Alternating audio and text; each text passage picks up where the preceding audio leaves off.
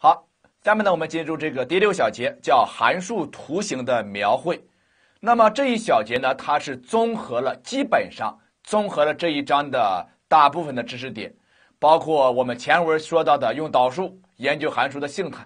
那你想一想，一个函数的图形要想给它描对，那我们说呢，那人工绘图当然有一定的误差了，但是呢，这个特征得描出来。比如什么呀？它的增减性是增还是减，对不对呀？你是这样凸着增，还是这样凹着增，对不对呀？再说了，你这个点有没有极值？你这个点是不是拐点？包括什么呀？你有没有渐近线等等，对不对？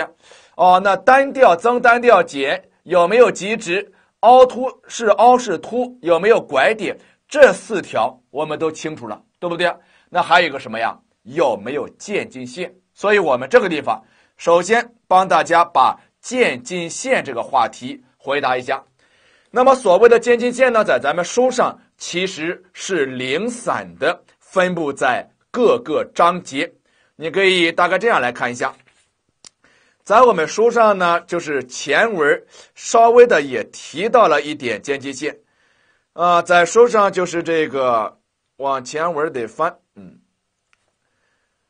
前文呢，这个三十一啊，教材三十一，教材三十一例七的上面有一个波浪线，叫水平渐近线，应该能找到哈。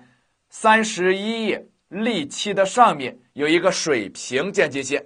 那么什么叫水平渐近线呢？这样回答：如果 x 趋向于正无穷，极限等于一个 b，我们就称 y 等于 b 是水平渐近线。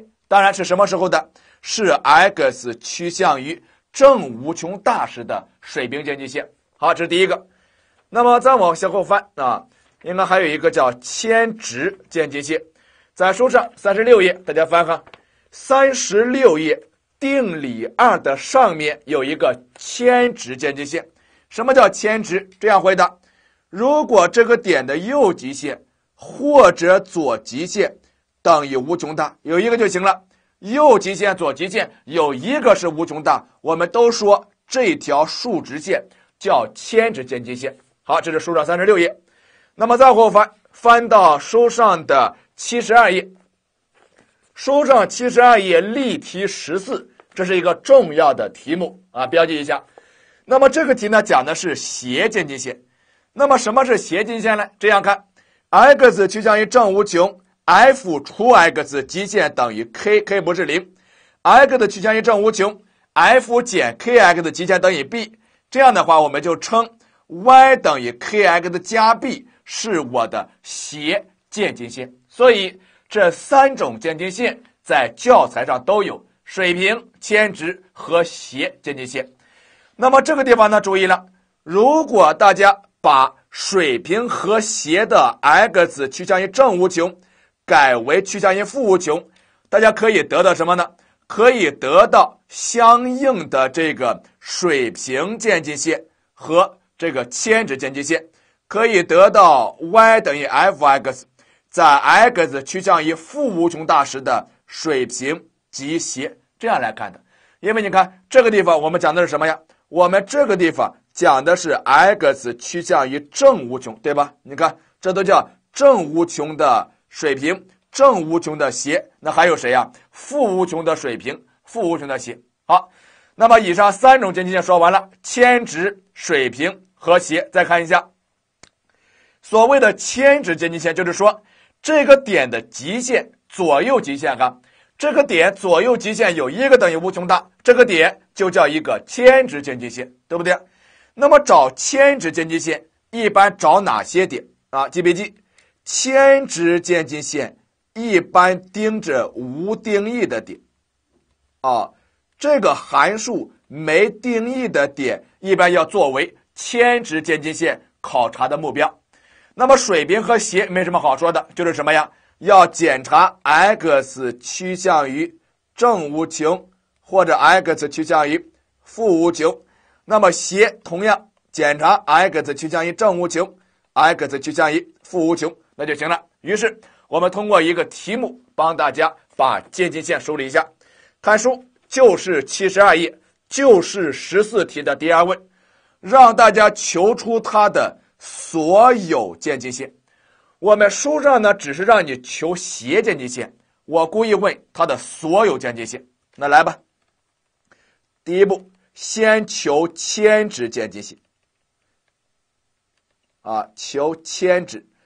那么铅值渐近线盯着哪些点来检查？答：盯着无定义的点，就是谁呀？x 等于零，对不对？好了，那么这个点到底是不是铅值？是不是要检查它的极限等不等于无穷大呀？大家想一想哈。这个地方是不是只要有左右极限有一个极限是无穷就行了呀？好，我们看看，那么 limit x 取零正二 x 减一 e 的一除 x 等于多少？那么 x 取零正的话，前面是多少？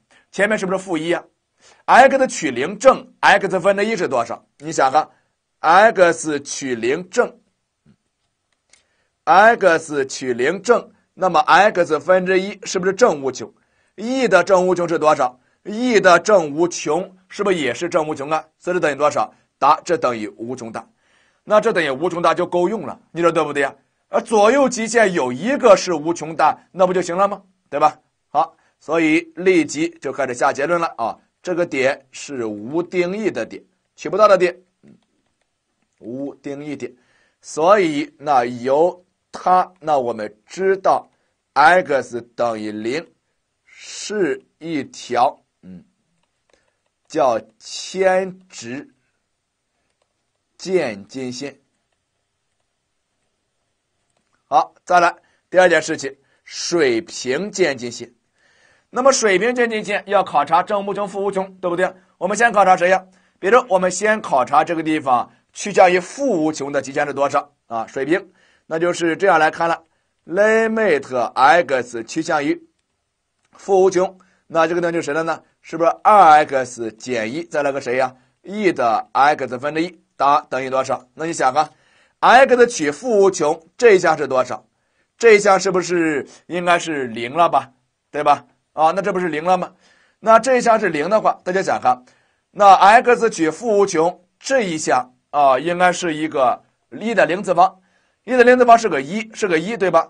那或者说呢，这个地方也不用分正负无穷了，其实它都一样哈。你想对不对啊？你 x 取正无穷、负无穷这一项都是多少？那这一项是不是你 x 的正无穷、负无穷这一项是不是都是一的零次方啊？那都是一，这等于谁？等于无穷大。这说明什么呀？啊，这说明它没有水平，啊，说明无水平，因为水平得是一条直线呀。无水平渐近线，好，没有水平干什么？考虑第三步，考虑斜渐近线。嗯，考虑斜渐近线，那怎么办呢？是不是 limit x 取无穷大，拿 y 除 x，那就是二 x 减一，再来 e 的 x 分之一，是不是再除一个 x 呀？答极限等于多少？那显然这一项哦，咱俩相除极限是几呀？无穷比无穷，找最高次幂，系数之比是不是等于二呀？那么二再乘后面呢？e 的零次方那就是一，答等于二。作为谁？作为 k 来使用。那并且 b 是谁？那 limit x 取无穷大，是不是应该叫 y 减个 kx？那就是二 x 减一 e 的一除 x，y 减 kx 减个二 x。那么这个极限等于几？嗯，好。它是几？这个极限怎么算？哎，那大家看，这个极限要想算出它，那它是不是属于无穷减无穷？可以干什么呀？可以做一个换元，令 x 等于谁？啊，来，我们一起做个换元。那么我可以令 x 等于 t 分之一，是不是做换元呀？那么做换元的话，就写成谁了呢？哎，是不是 limit？那 t 就干什么了？是不是 t 趋向于零了？对吧？那这里面呢这里面的话，是不是应该写成了这样来表达一下？嗯，中括号。那这个段呢，应该叫哦，应该叫 x 是 t 分之一，那就叫 t 分之二。然后呢，再减个一，再来个 e 的 t 次方，再减个什么呀？是不是再减个二除个 t 吧？那么应该是这样回答吗？好，然后干什么？开始通分。嗯，通分，那就是 limit t 趋向于零。那么分母就是 t 了，分母是 t，分子这叫是这叫二减 t 再来 e t，然后呢，是不是再减掉个二呀？于是变成什么了？变成了零比零，对吧？零比零来一次洛必达法则，那就 limit t 趋向于零。上面求导，前求导后不动，那就谁呢？嗯，前面求导后面不动，叫负的 e t，然后呢，再加上。前面不要动，后面再求导，来个谁呀？正的一 t，其他都没有了，对吧？求导是一呀。好，等于几？那么往下写，现在是 t 取零，t 取零这一项是负一，对吧？这是负一，t 取零，这是二减零乘个一，那最终是几呀？最终等于一，这就是谁呀？这就是你的 b，对吧？好，这是我们的 b 哈，或者这样写吧，嗯，且 b 等于它，于是推谁的间接线？推 y 等于 kx 加 b，y 等于 kx 加 b，那也就是谁呢？k 是二，b 呢？b 是一，好是 x 趋向于无穷大时的斜渐近线。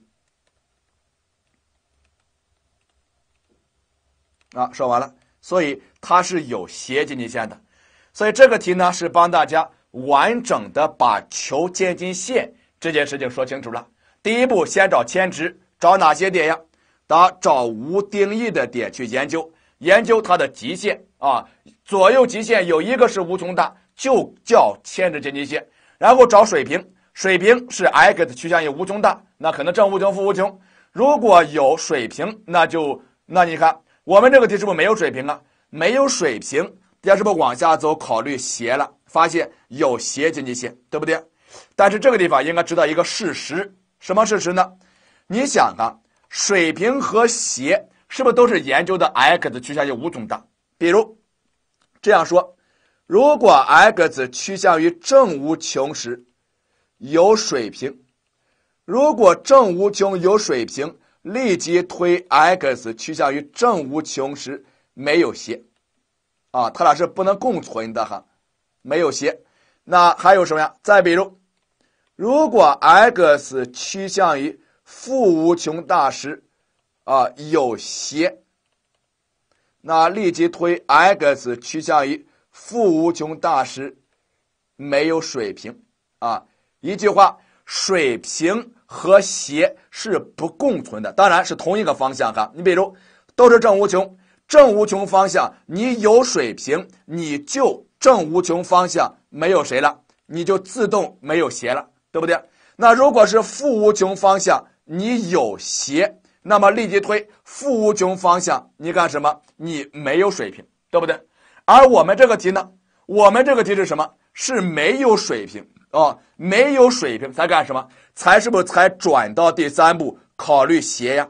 如果有水平，如果有水平，这个题是不是就做完了？那有水平的话，是不是就没有斜了呀？你就没有必要再算斜了呀？对不对？所以这个逻辑关系应该搞清楚哈，这个斜和水平，它俩同一侧是不能共存的哈，就这个话题，啊，同一个方向不共存，你没有必要算两次。如果你发现哦正无穷有水平，正无穷就不要算斜了，立即考虑负无穷有没有斜，两边是不能同时有的哈啊。好，这是我们说的水平和斜，那么这个地方呢还涉及到什么呀？涉及到左右极限。最后强调一下。哪些情况需要分左右极限呢？第一个是不是分段函数分段点？第二个是谁呀？是不是 e 的无穷大？第三个是谁呀？arg 它的无穷大。这三种情形要分，是不是左右极限？分左右来算呀？比如谁呀？比如本题的第一问求千值，那么这个题 x 趋向于零得分什么呀？是不是分零正和零负？因为有谁呀？因为有你 x 趋向于零的话，是不是有 e 的无穷大，对不对？而 x 趋向于无穷大，为什么不要分左右？因为你 x 的趋向于无穷大，这是 e 的什么？这是 e 的零次方啊！e 的零次方分什么正左右无穷啊？对不对？所以只有谁呀？e 的无穷大才要分，对吧？比如零这个点吧，啊，我们这个题哈，啊，x 等于零，这个题不就是吗？要分零正和零负，对吧？好，这是我们回答的。一个基本的求渐近线啊，还用到洛必达法则了，对吧？啊，一堆东西哈。好，那么这个题呢，我们就暂时说到此处。那么剩下的这一小节，大家看看，剩下的问题就比较基础而简单了。大家翻开书，把书翻到一百六十三页，一百六十三页这个地方第三段有利用导数描图形的一般步骤如下：第一步，先检先确定定义域和奇偶性、周期性，并求出一二阶导数。第二步，找导数为零，导数没有；二阶导为零，二阶导没有。找到所有的点，把整个定义域分成好几个区间。第三步，确定单调性和凹凸性。第四步叫什么？叫确定水平、铅值和斜渐近线。所以第四步叫找渐近线。第五步呢，那就是再算出什么别的一些图形，对不对？书上有做函数图形完整的做题步骤，大家翻过来看例一这个题。例一这个题呢，大家看是不是画一个三次多项式的图形？包括一百六十五页例二画一个 E，这叫概率密度。我们概率之中会学会学哈，叫正态分布概率密度。包括后面还有例三，请大家自己根据书上的这三个例题留作你的作业题。你通过这三个题，尤其是例二和例三哈啊这两个小题哈，因为这两个题涉及到渐近线，那么请大家。就自己把第六小节的这三个例题当做作业题，不要看书，自己去画这个图啊，把它的特征、它的渐近线都求出来，画一下，看看你跟答案的图完不完全一样啊。剩下的知识点都咱们都讲过了，单调性怎么确定，凹凸性怎么确定，对不对？包括极值点怎么找，拐点怎么找，对不对？就一个东西你不知道，叫渐近线。我们也帮大家复习了三种渐近线怎么找啊？有这个做题的程序，尤其是斜渐近线，它比较麻烦一点，要算两个两个极限，算个 k，算个 b，对不对？所以你通过例一、例二和例三，再熟悉一下基本的做题程序啊，把这三个题自己做那么两个题，应该是可以了。好，剩下的问题我们就不再做赘述了。那么这样，我们第六小节将全部结束，然后。转到第七小节，叫曲率啊，这一小节，这一小节，首先屏幕前数三的考生不要求，嗯，数三不要，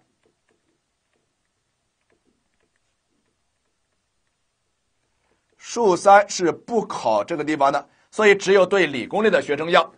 那么我们理工类数一数二的学生翻到一百六十八页，第七小节叫曲率。这一小节书上讲的太多了，我来告诉你，这一小节完全没必要搞那么复杂，就两句话说完了。一百六十八页第一个标题叫弧微分，弧微分现在先放下，等大家学到第六章，学到第六章我们再补这个弧微分，所以这个地方先放一放，现在先不看。那么翻到一百六十九页，第二个标题叫曲率及计算公式。书上一百六十九页、一百七十页、一百七十一页，包括一百七十二页，好几页都在讲曲率，讲了那么多，我们都不要，就一句话记公式。一百七十一页七杠三这个公式找到。一百七十一页七杠三叫什么呢？如果是在直角坐标系中给出方程，那么曲率 k 直接背下来。曲率 k 就是一加一阶导的平方二分之三次方分之二阶导的绝对值。说完了，就是算出谁呀？算出一阶导，算出二阶导，往里一带就是谁呀？那么一带不就是你的曲率吗？这就说完了呀，对不对？好，翻过来，翻到一百七十二页啊，有七杠四叫什么？叫参数方程给出。如果参数方程给出，立即背你的曲率是谁？那就是 y 的二阶导 x 的一阶导减 y 的一阶导 x 的二阶导绝对值，再除以一阶导的平方加一的平方，再来个什么呀？二分之三次方。说完了，那这就是我们讲的这个东西的曲率啊，这是参数方程给出来的。所以你看，曲率 k 一句话背公式，这就说完了。嗯，曲率 k，曲率 k。好，那么书上你也不要看那么多，你只需要按我讲的。把七杠三一百七十一页，七杠四这个一百七十二页两个公式一背，曲率说完了。好，翻过来，一百七十三页叫曲率圆与曲率半径，曲率圆自己读一下就行了。然后我们要公式曲率半径，曲率半径的公式就是这个例三的上面一句话，曲率半径叫 r，叫等于曲率的倒数，曲率半径就是 k 分之一，就是曲率的倒数，所以还得求谁呀？你只要把曲率求出来了，那曲率半径，呃，这个曲率半径不自动出来了吗？就是 k 分之一，说完了啊。虽然简单，但是数学院的学生、数学院的卷子非常喜欢考这一套东西。一个是曲率 k，一个是曲率半径，就这个东西，别的没有了呀。好，再后翻，翻到一百七十四页，叫第四个标题，叫曲率中心的计算公式。渐曲线与渐针线这个标题划掉，考研不要。所以整个第七小节我们要的只是前三个标题，而且第一个标题暂时不看，第四个标题是肯定不看，中间的第二个标题和第三个标题你也不用看那么多，就记三句话：曲率 k 是谁？曲率 k 是谁？曲率半径 r 是谁？说完了，你记这些东西就够用了。好，下面我们来通过一个题。帮大家把曲率和曲率半径再梳理一下啊！翻书一百七十六页，一百七十六页习题三杠七的第五题，我们来看看习题三杠七第五小题，来一起做一下关于这个曲率的问题哈。说对数曲线 y 等于 ln x，哪一点曲率半径啊？曲率半径最小，是不是又是考大家？最小的最大值吧，首先得求曲率半径，要求曲率半径，先求谁？先求曲率 k，对不对？那么曲率 k 是谁呀？曲率 k 背公式，那是不是应该是二阶导的绝对值？嗯，背下来，那不就是二阶导的绝对值，再除上一，再加上一阶导的平方的二分之三次方吗？对吧？